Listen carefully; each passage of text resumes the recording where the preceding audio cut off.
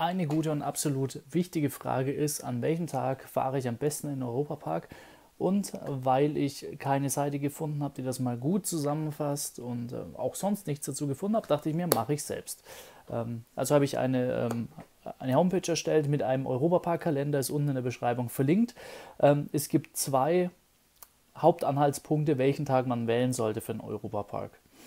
Ähm, und ja, man kann beides miteinander verbinden oder auch nur eins von den beiden machen. Wenn es dir möglich ist, ähm, dann gibt es einige magische Wochen im Jahr, wo es sich empfiehlt, an einem Dienstag oder an einem Donnerstag in den Europapark zu fahren, weil an diesen Tagen sind keinerlei Ferien in Deutschland, Frankreich, der Schweiz, Österreich und weiteren umliegenden Ländern. Und der Dienstag und der Donnerstag sind die besten Wochentage für den Europapark. Das ist das zweite Kriterium. Ähm, wenn man ähm, jetzt nicht genau diese magischen Wochen wählen kann, sind ungefähr so vier jedes Jahr, wo man wirklich komplett ferienlose Zeit im kompletten, äh, in den kompletten umliegenden Ländern hat.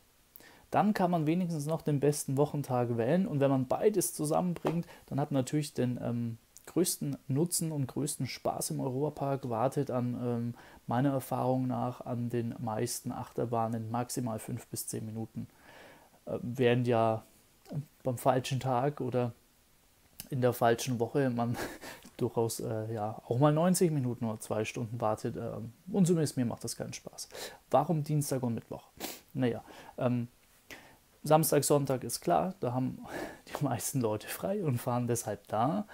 Ähm, wenn allerdings jemand frei nimmt, nimmt er am ersten am Montag oder am Freitag frei. Das heißt, man merkt es enorm, dass am Montag und am Freitag mehr los ist als am Dienstag und Donnerstag.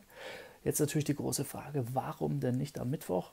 Ähm, am Mittwoch kann man theoretisch auch fahren, man hat nur einen Nachteil, dass es manche Gebiete in Frankreich gibt, wo Mittwochnachmittag schulfrei ist. Und klar, die gehen dann natürlich gerne Mittwochnachmittag.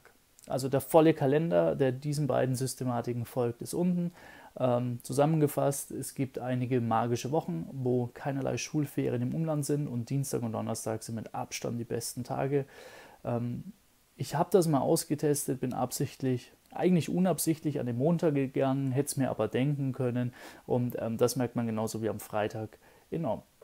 Ich hoffe, das Video hat geholfen. Viel Spaß!